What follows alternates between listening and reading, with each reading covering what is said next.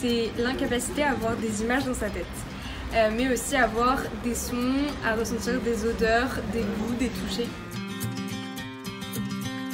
On prend l'exemple d'une pomme.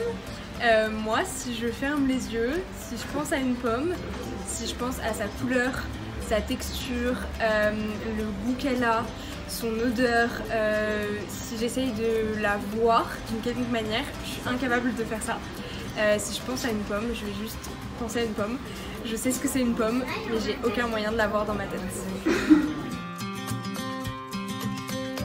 Moi, si je pense à une fête, un anniversaire, euh, ou par exemple le nouvel an de l'année dernière, je vais pas du tout voir les images des personnes avec qui j'étais, je vais pas du tout entendre les musiques qu'on a jouées, euh, je vais pas du tout avoir de visuel par rapport à cette soirée. Et du coup, je vais prendre pas mal de photos et de vidéos pour essayer de rattacher tout ça à quelque chose de concret et à quelque chose d'imagé. Mais euh, sinon, quand j'y pense, je pense juste au fait du Nouvel An, à combien il y avait de personnes et à ce qui s'est passé. Et c'est tout.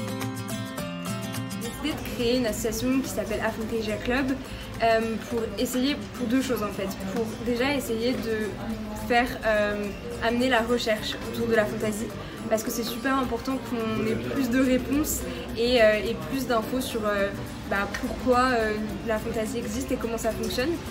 Et deuxièmement, c'est vraiment aussi dans un but de discuter avec des personnes, qu'elles soient aphantasiques ou pas, et, et en fait de fédérer plein de monde et d'ouvrir vraiment une sorte de forum de discussion autour de ça.